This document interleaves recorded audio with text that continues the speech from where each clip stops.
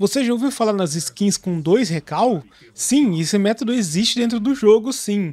E literalmente foi um bagulho que começou lá muito tempo atrás no Zed, mas foi implementado com o seu Control 2.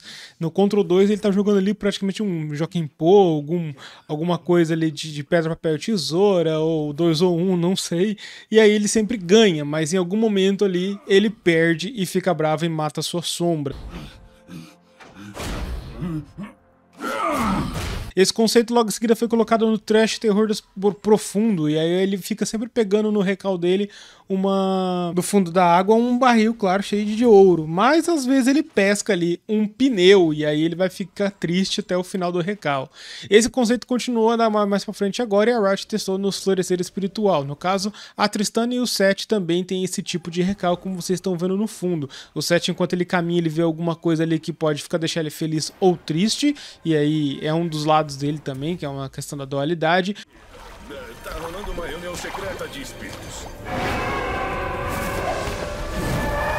E a da Tristana que joga um, uma sorte ali no meio ali do seu da sua arma e aí pode acabar sendo ruim e sugar os bichinhos ou sendo bom e um monte de florzinhas. Confira o lado a lado. cansado, é que tá rolando uma reunião secreta de espíritos.